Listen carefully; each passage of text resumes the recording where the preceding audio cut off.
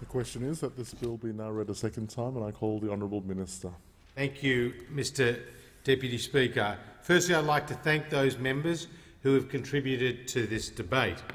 This bill delivers on the government's promise to reform the unclaimed monies provisions and helps to deliver on the government's promise to support Australian business by reducing red tape by $1 billion each and every year. When the previous Labor government, in a desperate money grab, reduced the required period of inactivity before funds must be transferred to the Australian Securities and Investments Commission to three years, the value of unclaimed money transferred to ASIC in a single year grew more than eightfold.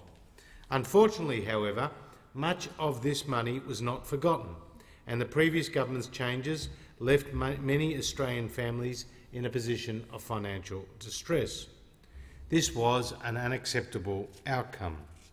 In order to again ensure that Australia's active bank accounts and life insurance policies remain in their control, this bill returns the required period of inactivity before they can be transferred to ASIC to seven years. It also makes changes to the notification requirements to ensure that even after seven years of inactivity, if an account holder lets their financial institution know that they are aware of those funds in any way prior to their transfer to ASIC, such as by checking the balance online, they will remain in control of the account holder. In recognition of how Australians actually use different financial products, this bill will also exempt children's accounts and foreign currency accounts from the unclaimed monies provisions entirely. For example, many Australians set money aside for their children's future and trust that this money will continue to grow in value and be available for their children when they are ready. In recognition of this fact, as a result of this bill, funds from children's accounts will not be transferred to ASIC. Foreign currency accounts meanwhile, are primar primarily used by sophisticated consumers to settle complex transactions. However, transferring foreign currency accounts to ASIC not only disrupts these processes, it also exposes the account holder to a loss as their funds must be converted to Australian dollars at the prevailing exchange rate before they can be transferred to ASIC.